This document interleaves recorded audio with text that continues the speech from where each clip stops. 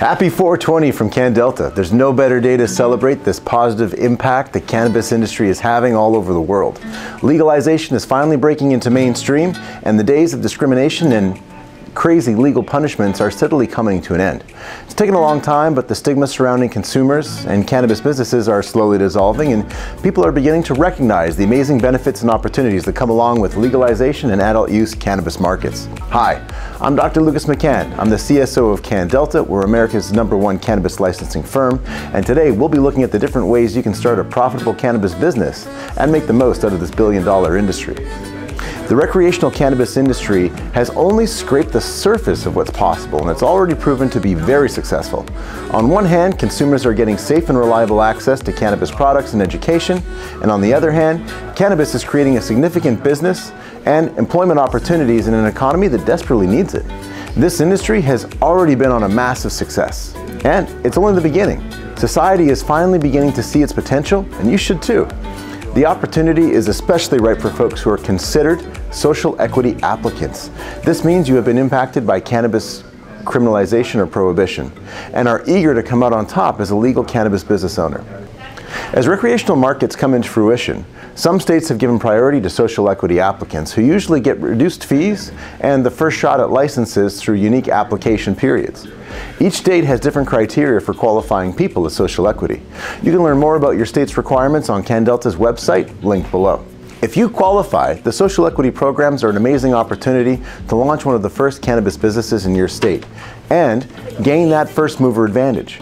But regardless of whether you qualify for social equity, you'll still be able to apply for a license in a general application window.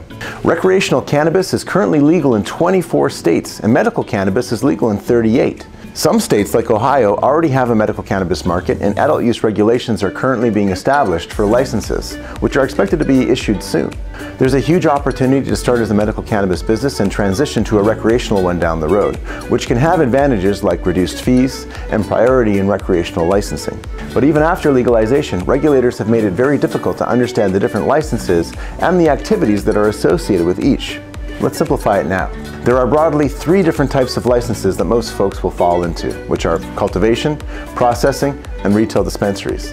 Some states will have additional licenses like distribution, delivery, testing labs, consumption lounges, and maybe a few others.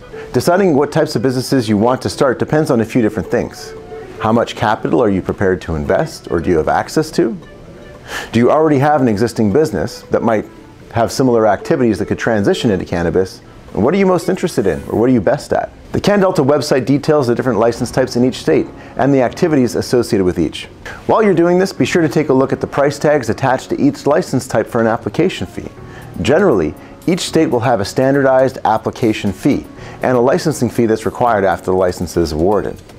The licensing fees to, tend to vary depending on the license type you're, uh, you're applying for. There are a few different ways you can go about generating the capital required to start your business. Whether it is working with a group of partners, finding investors, or even purchasing a pre-existing business.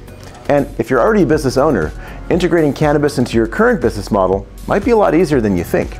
If you're a smoke or vape shop owner, a convenience store owner, or a gas station operator, or other small business owner that already has a brick and mortar location, this is your opportunity to expand or convert your business into a growing market by getting a dispensary license. You already have a commercial space experience working in a similar market, and employees that you trust with credibility in the community, that goes a long way. The same goes for folks who already own agricultural businesses or operate farms or nurseries. Cannabis cultivation will unquestionably be a profitable addition to your current business. Businesses in industrial food manufacturing, private kitchens, brewing companies, wineries, manufacturers, and labs of all kinds would benefit from getting a cannabis processing license or testing license. And for warehouse businesses, distributors, wholesales, and delivery services, and those in the logistics space, who have the capacity to add cannabis to their operations, in most cases should consider to do so.